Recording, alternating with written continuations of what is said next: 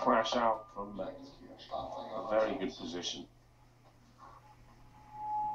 That is the toss up in all of these sliding sports.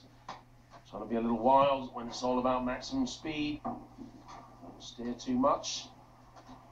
Now, Jenna Eitberger, last year, she was the European champion.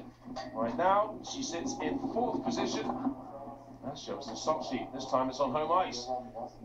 She drive up a storm. No, not such a good start. And uh, she's still got a good, healthy lead on Geisenberger.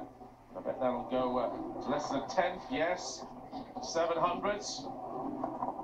What's the bets of the next split? It's all evens virtually.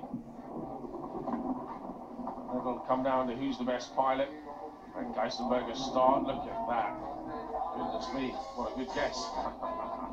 Just three thousandths of a second in it. And it really is now. It's all down to piloting. Because they're now both up to the same speed. So Eitberger could reel this back in. Oh no, no way, not a chance now. That was a, a horrible run down the wall into 16. And yeah, drops to